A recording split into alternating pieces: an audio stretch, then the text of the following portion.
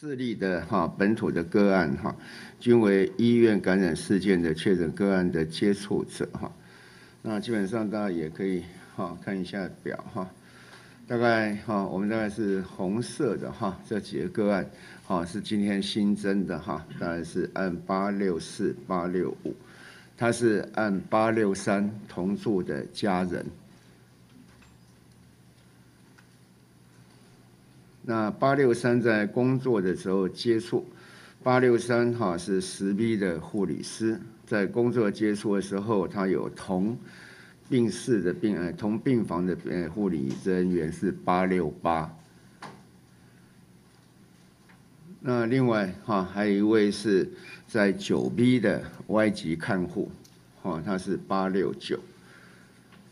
哦，那因为哈我们原来的八五六。啊，他的主啊，这位主治医师，啊，他有跟这个八六九有接触过，那似乎好像他跟八三呃八六九也跟八三八有接触过，那到底他是由哪一位？到底由八三八或是八五六传给八六九的？那目前我们在厘清中，那总共有这样的一个四位的案例哈，一位护理人员，那两位是原八六三的同住的家人。那另外一位是在九 B 哈病呃病房内的外籍看护，八六三跟八六四哈他们是夫妻的关系，好，那他们在案外的活动的地点哈，那一个哈就是在一月十三号十一点半到十二点十五分在桃园南门市场，一月十六号十一点四十到十二点三十五分在桃园南门市场。那其他还有一些相关的轨迹，我们现在在厘清中。那按八六五哈，按八六五，他在哈在桃捷 A 七店的摩斯汉堡店上班，所以一月十六号到一月十八号，哈都在哈这个这家的一个桃捷 A 七店的摩斯汉堡哈。那整体详细的时间，基本上他是上班的时间在那个地方哈，不过详细的几点到。几点？那这还需要再理清。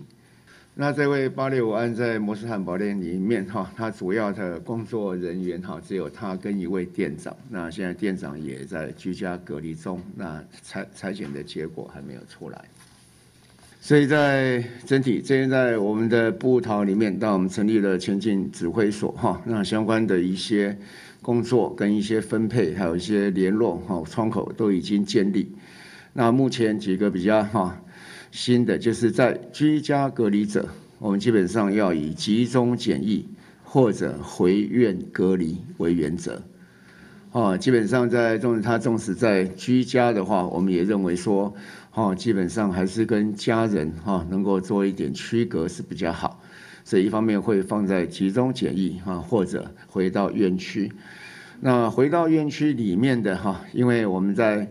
整个我们在执行我们的相关医院的清空的计划，哈，但不竟然是全部的清空，哈，就我们需要认为需要清空。那今天我们会开始有一百二十名，明天开始有一百名的病人开始往外面的专责隔离病房来移动。那相关的病房陆陆续续包括前面清空的，哈，那再经过消毒检查。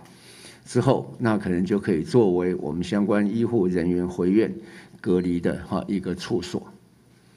那当然，楼层的管制，那并全面的消毒，那分层现在在进行中。